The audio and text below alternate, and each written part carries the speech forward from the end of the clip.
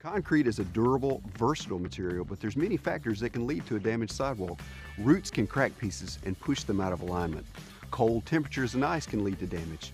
And normal wear and tear can create dangerous situations or unsightly problems. So we're going to go through some basic sidewalk repair and show you that with a little know-how and some standard tools, some concrete basics. Concrete is a composite material that's made from a few different elements.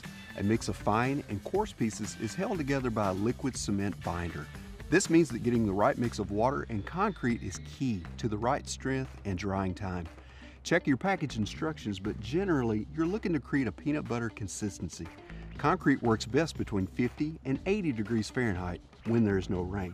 There are lots of different types of concrete that you can find at Lowe's, covering all kinds of applications water resistant, fast set, high strength, reinforced with fiberglass, and even countertop style. Make sure you choose the type that is recommended for your project. There are two levels of sidewalk crack you might see. The first is a hairline crack, like this. The second is a wider crack, like this one. For a hairline crack, remove any loose debris from the damaged area with a wire brush and broom. Then you can use a caulk gun loaded with a masonry crack filler to fill the crack or you can use a vinyl concrete patching agent and a putty knife to fill it in. For a wider crack, you will need to use a small sledgehammer and a chisel.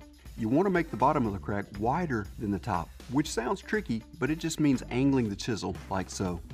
This will help lock the patch in place and keep it from moving. Clean the debris with a wire brush and broom. Wet the area and then fill the crack with a vinyl patching mix and a trowel.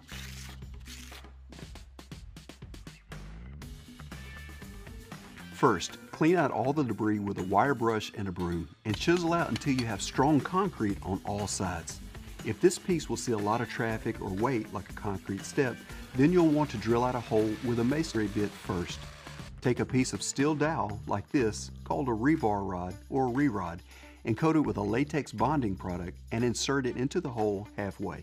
Apply that same bonding product to the broken edges of the sidewalk, making sure to get into all of the crevices. Mix up your concrete patch with water and add some of the bonding product to the mix. Read the manufacturer's instructions for specific amounts. Use your scrap wood to create a form for the concrete to shape to. Put your mixture into the form with a trowel, tamp it down, and smooth out the top. You can use a broom to lightly score the top for a texture. Leave those boards in place for a week until it dries, and then you'll be good to go. When a piece of your sidewalk is too damaged to use, it can be best to just rip it out and start over. First, you will need to remove the existing sidewalk piece. Once the piece is gone, clear any rocks or debris from under the spot where you will put the new slab. Dig around the edges to create a perimeter.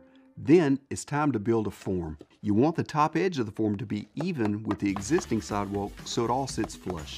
Use stakes or scrap wood to hold your form in place and place the stakes regularly to avoid the form from bowing outward.